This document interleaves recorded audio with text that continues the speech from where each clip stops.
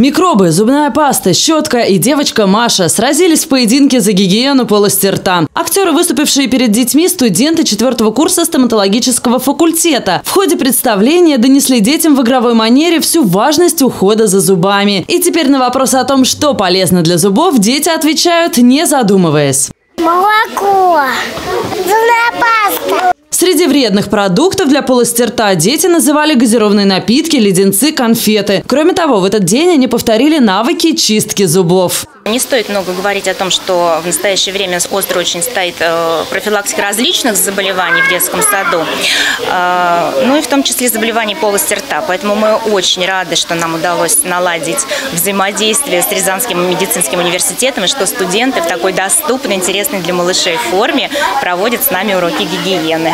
Студенты Рязанского государственного медицинского университета сами придумывают спектакли и несколько раз в месяц проводят подобные мероприятия в той аудитории, где работает профилактика. И в том году этот проект был поддержан грантом Министерства молодежной политики. Э, и на это было выделены грантовые средства, и мы сейчас проект скажем так, в новом формате реализуем, а, более интересным для детей, более доступным, больше школ пытаемся детских садов привлечь, а, в том числе и на территории Рязанской области. Для студентов же такое живое общение с детьми – это шаг на пути к будущей профессии. Намного проще будет в дальнейшем оказывать лечение маленьким и эмоциональным клиентам. Готовиться мы начинаем уже на первом-втором курсе. У нас проводят такие же интерактивные уроки уже между собой, чтобы научить нас именно разговаривать с детьми правильно, потому что это совсем другой уровень беседы.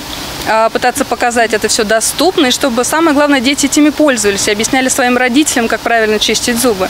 За зубами нужно следить еще до их появления, с самого раннего возраста. Очистить начинает с момента появления первого зуба. Но даже если время было упущено, теперь специалисты хотят исправить ситуацию и надеются в скором времени реализовать проект, где смогут увидеть плоды своей работы. У нас есть несколько идей, да, это либо осмотр детей, то есть сейчас школьная медицина возрождается, это очень э, тоже актуальное направление, и э, смотреть до уроков гигиены, да, уровень гигиены детей, и после, да, проведения этих уроков, э, как дети это э, реализуют вот в практике, да, в жизни, вот, ну и, конечно, опросы родителей, потому что родители это те люди, которые, э, от которых зависит очень много. С другой стороны, подобные уроки гигиены приносят не только знания, опыт, но и эмоции. В этот день у всех они оказались на высоте.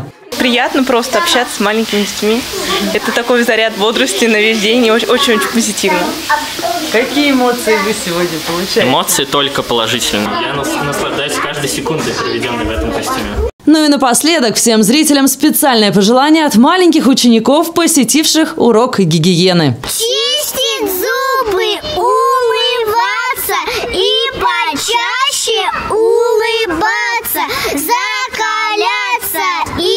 тогда быстро